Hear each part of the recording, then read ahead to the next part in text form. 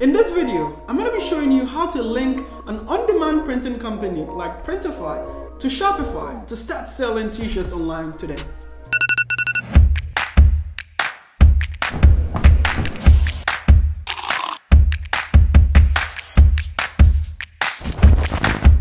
Hey guys, welcome back to the channel. If you're new here, it's your boy Tauheed. I'm a software engineer and a former startup founder based out of Boston. And on this channel, we explore various ways to capitalize on the digital economy to make some serious bank. This video is actually a continuation from my last video where we talked about setting up a Shopify store. Now this is all part of a series on how to start a clothing brand online. If your goal here is only to find out how to set up Shopify with Printify, then you're in the right place. So this is gonna be a pretty decent sized video and it's gonna be a juicy one. So let's get straight into it. All right, so I'm on the printify.com website and essentially you can start selling, but I don't have an account yet for this demo, so I'm gonna sign up to, to get a new account. I'm gonna continue with Google, but if you already have an account, you can just simply log in with it.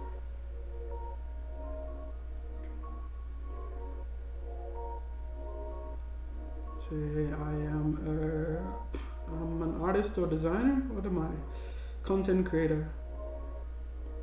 Yes, I sell. I have an online store.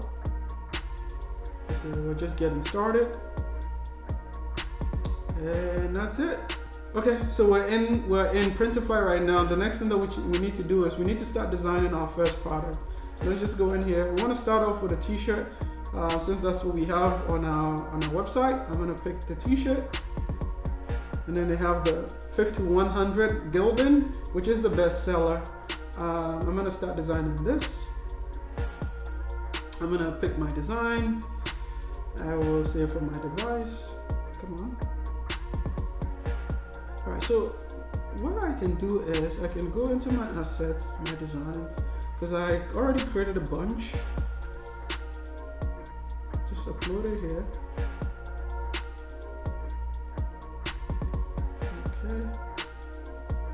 It out, make it look really nice. And then the colors, you can select as many colors as you want. Um, see, green is meh. Red looks great, you know. Charcoal, ah, charcoal is meh. One select charcoal. White is definitely good looking. Uh, let's pick some more colors. See, royal blue, I don't like it. Yeah, this is nice. And then uh, heather gray, no. All right, let's keep this simple. All right, perfect. So this is how our t-shirt looks like. So what we need to do is we actually need to link, uh, set up uh, a connection with Shopify. So what we can do is we can go here, manage my store, and then we need to connect. We want to connect it with Shopify. And then we want to go here, and then our shop URL is, let me see, let me go here and preview. This is our shop URL, we copy it.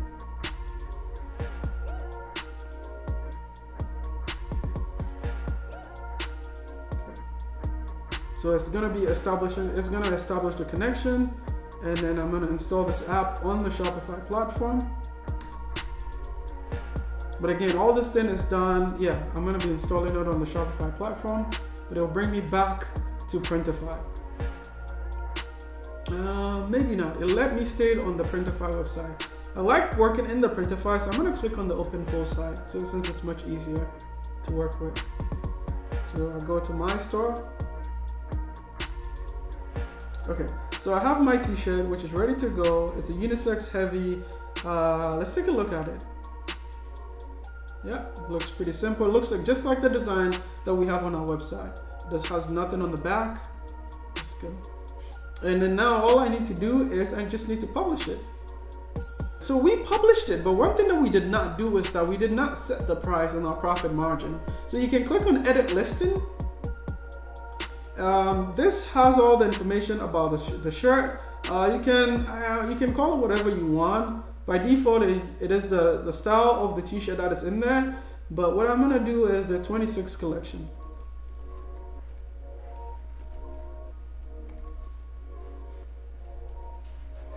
you just always want to have some marketing information next to the shirt to make it look super useful. Um, and then what you need to do is that you can add some description to it. Um, one beauty about adding the description is it works really well with SEO. So when somebody goes in and starts searching for items, you know, that contains in here, your likelihood to your likelihood to pop up in search is pretty high. And then here's really where we set the profit margin. Um, what I've done in my shop is instead of you know having a variation in the profit margin, as you can see, the profit tends to decrease um, based on the size of the image, uh, based on the size of the t-shirt. But I like to keep things really simple. I don't think it's really nice for somebody to go in the store and then see all this variation in price. So I just like to keep it very simple. I edit all my profit margin in bulk. Actually, I edit my price. Uh, let's see. Let's edit the price in bulk. So let's say we want the t-shirt to be sold at $15. And then what I'm gonna do is that usually you lose. The bigger the sizes are, you lose. So I end up, I tend to not sell 4XL, 5XL, 3XL, 2XL. I'm sorry. Um, if I sell those, I'm gonna be at a loss. And then as you can see, with my small, I'm netting a profit of $5.46. Um, my medium and large is also the same. And then with my, with an extra large, I'm also actually getting the same is my 2XL, my 3XL, that's when my profits start going down. But I don't want to be greedy. Let, let's keep a 2XL in there. Uh, yeah, we're gonna keep it 2XL, but 3XL, 4XL, 5XL, we're definitely not gonna be selling uh, because those ones are going to be, you know, costing us to lose money. So we're gonna publish it to my Shopify store, um, and then you can select all you want the markup to go as well, the description, the you know the description, the color, the sizes, and then the tags. And then if you had a collection, you can actually add it to in there. And I believe that by default, Shopify creates a collection for you called the homepage, which allows the design to go in there. So I'm gonna hit publish. All right, so it is in the store. So like if I click on it, I can actually see it in the store. And you can see that all the different designs is in our store. Beautiful, beautiful if you were to ask me. Perfect. But if the problem is that when you go to your Shopify, you don't even see it anywhere. You gotta click on the catalog before you can actually see it. We want to change that, okay? So what we want to do is we want to go back to Shopify and then we click on home. Once that's done, what we want to do is, actually I want to click on products and then I want to click on collection. So there's the homepage collection in there, which has the first one. But where we want to really be is that we want to go to our online store and then in our theme section, we want to hit customize. And then if you go into the featured collection, you want to change the collection, right? Or you want to select a collection. Right now, the only collection that we have is the homepage and we only have one design. And then select, and then, you know, I'll say store faves, store faves. Or maybe designer faves. This is the ones that we really love. Save. Perfect. So now let's take a look at our store and see how it looks like. See, in the past we had all these blank images in there, uh, but we can reload now and it should have our design, which matches exactly what our model is wearing. Now we only have a t-shirt, uh, but our model is wearing a hoodie over here, and she's sort of wearing, she's wearing a tank top over here. We can go back to Printify and create different designs for that particular product. So what I'm actually gonna do is, we, on, on our website, we actually have three designs. We have the lone sailor, and then we also have the postman one, make a statement. So I'm gonna go in there and then redesign, uh, redesign uh, things for those uh, particular ones. So I'm gonna go into my catalog and then I'll say sweatshirts. And then I'm gonna pick the bestseller, the Gildan uh, one. A lot of people uh, like it. And then I'm gonna click on let's start designing. Um, which one is it? The Drive Fulfillment has a pretty good rating. Um, yeah, they have a pretty good rating when it comes to the design quality. So that's the one that I'm gonna work with. And then I'm gonna add my design. I'm gonna pick it from my library. I already uploaded it. Wait, what happened? My device. Okay, I'm gonna go back to my library and then I'm gonna select. So we already messed with this yeah, let's see the lone sailor. And yeah, I'm gonna put the lone sailor. Yeah, looks really dope. Matches exactly where we want. I'm not gonna pick more colors. I'm just gonna keep it really. I'm gonna keep it just white. Save product. It hasn't been published yet, but I can edit the listing as well to update my price information and all these other information here. Uh, make sure you change the title. I'm not gonna change it. I wanna just keep it simple. Um, tags, uh, I don't, you know, men's clothing, sweatshirts, women's clothing. I think that works really well. And then also too, I'm actually gonna just keep it, uh, I'm gonna keep the retail price the same, uh, different for all the different sizes. But if you want, you can just edit the price so that you have a consistent price for all your sizes. And then finally, what I'm gonna do is I'm gonna publish it to the store. I'm gonna add it to my homepage collection so that it shows up on my homepage. And then I'm gonna click publish and it's publishing. We'll just give it some time to publish. All right, so the, it's been published and we can actually see it in the store. Um, at the prizes, as we said, we didn't pick any prizes specifically. Uh, for the, we didn't pick a uniform price for all our sizes. Uh, so we have prizes based on, uh, you know, based on the size. Okay, so 2XL should be different. Yeah, the 2XL is $28. And now if I click on the home, you see that it's part of my homepage collection. Again, this matches exactly what our model uh, is wearing, which I think is pretty cool. And then the last design that we don't have yet is the Postman one. I can simply just go back. Um, right now, it's just, once you get a good idea of how this thing works, it's just a rinse and repeat. Uh, so I'm gonna, I'm gonna find, you know, sweatshirts again. And then I'll pick this one. And then I'll start designing. You know, you can select a bunch of different uh, providers, but I'm just gonna go with the highest rating. By the way, the prices different uh, differ on Printify based on whoever you pick. So sometimes people really go for the you know the low price but really bad quality. I generally like to get a really good price. Um, I really want to pay the premium for for the t-shirts that I'm designing. And I'm gonna add my design, library. For some reason I can't upload, so I need to do this then.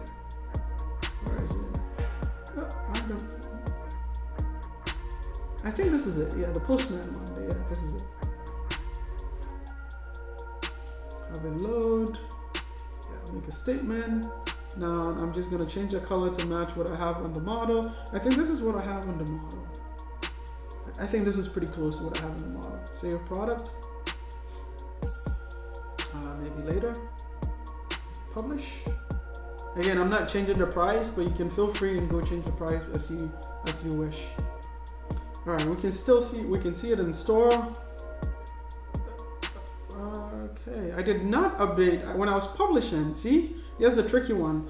When I was publishing, I did not publish it with the markup, so I don't have any markups associated with it.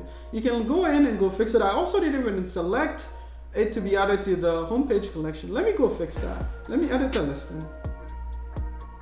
Yeah, so I want to publish in the store. I want to select all this information and then the collection that I want is the homepage. I click on publish.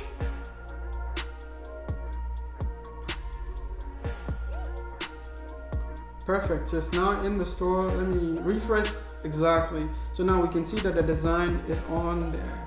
Perfect, this is beautiful. So now if I go back to my home page, I can see, wait, what happened to it? It's not on my home page. Let's see what's wrong let's let's take a look and make sure let's take a look at our products see our collection oh wait it's there let's see, let's take a look at our collection and make sure that it's in there the homepage collection yeah it is there i don't know why it's not showing up. Let me just reload again. Yeah, there we go. Perfect. I just needed to reload it. And now you can see it. Now we have all the designs that we you know from the models we have it here. People can simply go onto our website today and actually just add it to the cart and then start buying. And the way it works is that once somebody places an order, it goes straight into Printify. It goes straight into Printify. You receive the order, you make payment for it. You actually need to add your card onto Printify and then you make payment for it. And then once Shopify pays you, you can rebalance yourself out. But anyways, so that's how easy it is to actually get started with on-demand printing. I really hope you enjoy this series and what I'm actually going to do. Uh, people have actually told me that they really enjoy what I'm doing with this whole clothing brand series. I'm not going to be stopping here. The next thing that I'm actually going to be recording, which is going to be coming out uh, next week, is marketing the store that we have. So we've gone from finding the design, we've also gone from you know picking up, uh, setting up Shopify, and then we've gone from linking that Shopify store to our you know linking that Shopify store to our on-demand printing company. The next piece that we need is the marketing engine. We really need to start letting people know about our clothing brand. So what I'm going to be doing in my next video is setting up Facebook ads or Instagram ads to really start getting some sales uh, for, for this uh, online store. If you really enjoyed this video, please leave a like to the video, subscribe to the channel, and until then, peace.